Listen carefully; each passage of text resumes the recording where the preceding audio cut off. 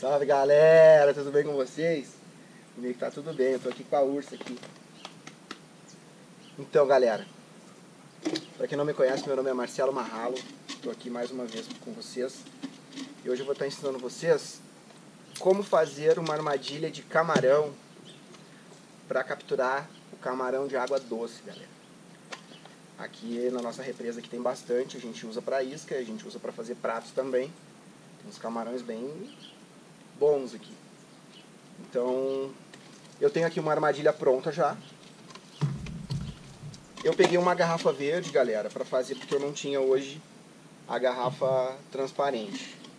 Mas o que, que você vai fazer? Eu já cortei aqui, você vai cortar o bico dela, mais ou menos nessa altura que eu cortei aqui, né? Onde termina essa linha reta, você corta atrás, ela automaticamente vai encaixar aqui, né? Ó. Aí, Aqui você vai fazer três furos. Eu não estou conseguindo fazer furo hoje aqui, galera, porque tem muito vento. Eu resolvi gravar aqui na rua. Até porque eu ia mexer com fogo, mas não deu certo, né? Então tá um alicate, um preguinho. Você vai esquentar o prego, pode ser no fogão. Eu uso uma vela. Se você for fazer dentro de casa, num local fechado, pode usar a vela também. Você vai aquecer a vela e você vai fazer furos, como eu fiz nessa aqui, ó. Já vou mostrando para vocês nessa aqui já que está pronto. Né? Você vai fazer vários furos, ó. Só dessa linha aqui para baixo. Não façam muitos furos porque vai começar a sair o arroz aqui. Você vai usar arroz cozido para para fazer o atrativo do camarão e aí você pode colocar uns grãozinhos de ração de cachorro também que é bom, que tem um cheiro, né? Que atrai bastante também. Essa parte de cima aqui, você vai juntar ela fazendo três furos. Até porque você tem que deixar um espaço, ó, aqui, aonde você vai puxar depois para retirar os camarões, né? Então, não fechem muito isso aqui, galera. Coloquem três pontos só. Você pode queimar, que nem eu queimei aqui, ó.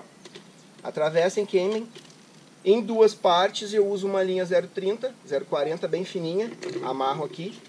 Na, no terceiro furo eu já amarro a linha que vai ficar de guia, que eu uso para deixar armadas as armadilhas, né? Então eu uso um fio de mais ou menos uns 20, 25 metros e eu coloco o pack. Eu tenho 30 armadilhas ali, eu armo todas as 30, pego aproximadamente de 4, 5 quilos de camarão numa noite, dependendo como é que tá.